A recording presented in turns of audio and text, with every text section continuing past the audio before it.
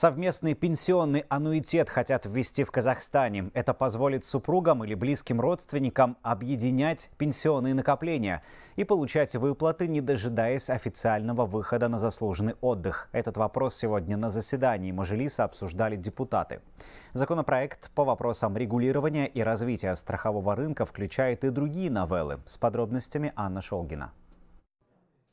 Для получения выплат по пенсионному аннуитету мужчинам к 55 годам необходимо иметь на счету порядка 7 миллионов тенге. 52-летней женщине 9 миллионов. То есть выйти раньше времени на заслуженный отдых сейчас можно только в том случае, если накопление соответствует данному порогу. Теперь депутаты предлагают новый инструмент – возможность объединить пенсионные супругов и не только.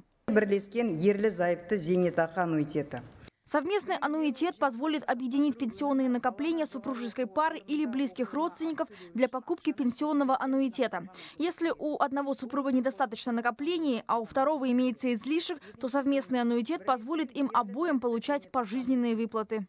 Пенсионный аннуитет относится к области страхования и имеет весомое отличие от выплат из ЕНПФ. В частности, это сроки. Если из фонда начисления идут, пока накопления не будут исчерпаны, то из страховой организации они осуществляются пожизненно. Помимо этого, в рамках законопроекта предложили еще несколько продуктов. Застраховать свою жизнь по желанию сможет любой казахстанец. Кроме того, планируется ввести и обязательное страхование работодателям сотрудника от несчастных случаев.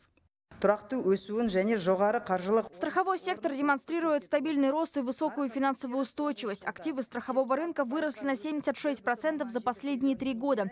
Составляет 1,7 триллионов тенге или же 2,3% от ВВП. Для дальнейшего развития накопительного страхования законопроектом предусмотрено внедрение новых социально важных продуктов страхования жизни. Документ предусматривает внесение изменений в три кодекса и 27 законов. Депутаты также с резкой критикой высказались в отношении новых порогов достаточности пенсионных накоплений. По их словам, эта задача не может входить в полномочия ЕНПФ из-за конфликта интересов. Кроме того, сроки использования пенсионных накоплений сократили необоснованно, заявили мажелисмены. Вызвала вопросы методика расчетов и дата информирования населения. В ЕНПФ тем временем твердят одно и то же. Рассчитаны для того, чтобы обеспечить его достойной пенсии.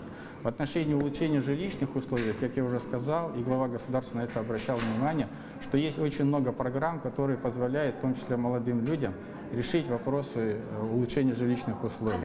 Народные избранники требуют провести служебное расследование и наказать ответственных за разработку методики определения порога достаточности пенсионных накоплений, а также провести работу над ошибками до 1 апреля следующего года. Соответствующим запросом они уже обратились в правительство.